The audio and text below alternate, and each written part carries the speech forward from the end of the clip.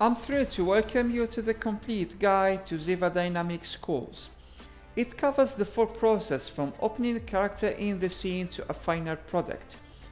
This course will take you through the entire Ziva pipeline. Students will learn how to model the human skeletons, the muscles and the fascia.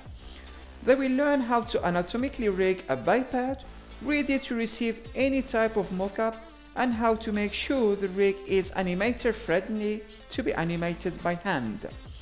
Students will also learn how to simulate the character using Ziva Dynamics and the best way to put everything together to produce a final result. The course is divided into small bites. The majority of the lectures are under 12 minutes long to make it easier for the learners to digest and to go back at any particular topic at any time if needed. Students will also learn about the performance constraints concerning the simulation and how to divide the simulation into chunks to lessen the burden on the computer.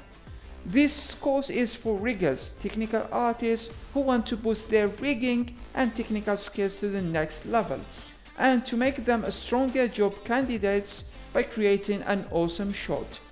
By the end of this course, students will be able to produce high quality rig characters or creatures ready for animation and simulation.